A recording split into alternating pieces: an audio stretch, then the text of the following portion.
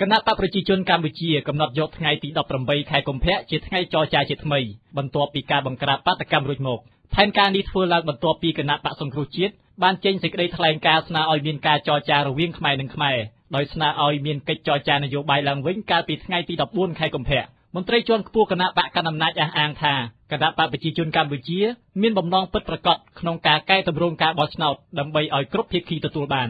លោកវ៉ាន់វេចារាយការណ៍ គណៈបកប្រជាជនកម្ពុជាកំណត់យកថ្ងៃអង្គារទី18ខែកុម្ភៈវេលាម៉ោង9ព្រឹកជាថ្ងៃបើកការចរចាជាមួយបកប្រឆាំងដើម្បីស្វែងរកដំណោះស្រាយបញ្ហានយោបាយការចរចានេះធ្វើឡើងនៅបរិវេណព្រឹទ្ធសភាហើយគណៈបកកណ្ដាលអំណាចបានត្រៀមមន្ត្រីជាន់ខ្ពស់ចំនួន3រូបដើម្បីបើកការចរចាមន្ត្រីទាំងនោះរួមមានរដ្ឋលេខាធិការក្រសួងមហាផ្ទៃលោកព្រំសុខារដ្ឋលេខាធិការក្រសួងយុតិធធលោកកាដិត និងរដ្ឋលេខាធិការក្រសួងមហាផ្ទៃម្នាក់ទៀតលោកសុកសេដ្ឋា ប្រធានក្រុមការងារចរចាផ្នែកបច្ចេកទេសនិងជាសមាជិកគណៈកម្មាធិការកណ្ដាលគណៈបកប្រជាជនកម្ពុជា លោកព្រំសុខាឲ្យដឹងថាការកំណត់ថ្ងៃចរចាជាថ្មីនេះជាចេតនាពិតប្រាកដរបស់បកកណ្ដាលអំណាចក្នុងការស្វែងរកដំណោះស្រាយបញ្ហានយោបាយលោកបន្តថាប្រការសំខាន់បំផុតដើម្បីបុព្វហេតុជាតិគឺជាការអង្គុយចុះពិភាក្សាគ្នាចរចាដោយសន្តិវិធីការចរចារវាងក្រុមការងារបច្ចេកទេសនេះ គឺជាការទម្លាយផ្លូវមួយទៀតដើម្បីឲ្យមេដឹកនាំកម្ពុជាកម្ពុជានៃបកទាំងពីររួមគ្នាស្វែងរកដំណោះស្រាយដោះស្រាយដោយសន្តិវិធីតាមរយៈការចរចាគឺជាវិទ្យោបាយល្អបំផុតតែមួយគត់សម្រាប់ដោះស្រាយបញ្ហាបើសិនជាជួបទៅមានស្ដាប់ផលយើងបន្តតទៅទៀតហើយចុងក្រោយច្បាស់ណាស់គឺការដោះស្រាយគឺបញ្ចប់នៅចុងក្រោយគឺការជួបគ្នាគូឯកភាពនៅចុងក្រោយណា ទន្ទឹមនឹងនេះប្រធានក្រុមការងារគណៈបកសង្គ្រោះជាតិលោកសុនឆៃមានប្រសាសន៍ថាគណៈបកសង្គ្រោះជាតិបានត្រៀមក្រុមការងារសម្រាប់ចរចាលំដាប់ថ្នាក់បច្ចេកទេសនេះរួចហើយសមាជិកភាពចរចា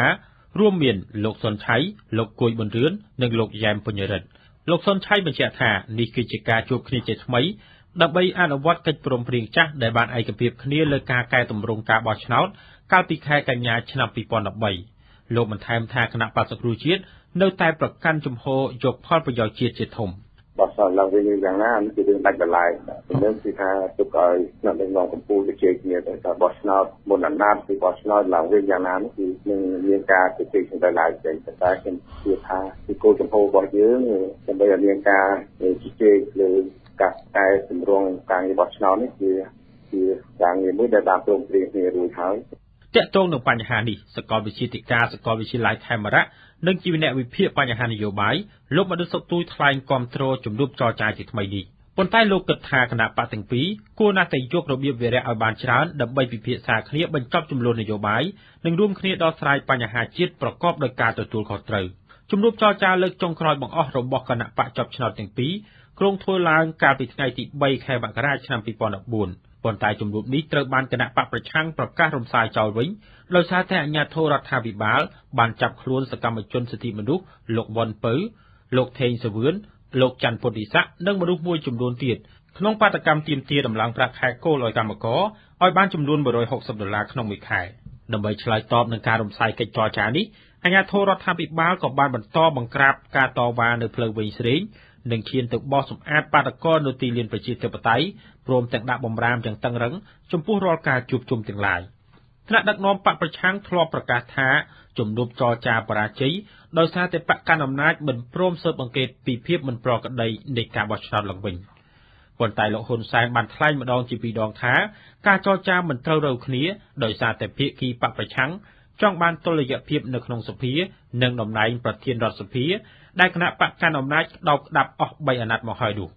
បច្ចុប្បន្ននេះគណៈបកប្រឆាំងកំពុងប្រមូលភស្តុតាងសម្រាប់ប្តឹងលោកហ៊ុនសែនទៅកាន់តុលាការអក្រិតកម្មអន្តរជាតិខណៈដែលបកកណ្ដាលអំណាចកំពុងតែឃុំខ្លួនសកម្មជនសិទ្ធិមនុស្សនិងកម្មករចំនួន21នាក់ក្នុងពន្ធនាគារ ខ្ញុំបានវិចារពុទ្ធអាស៊ីសេរីភ្នំពេញ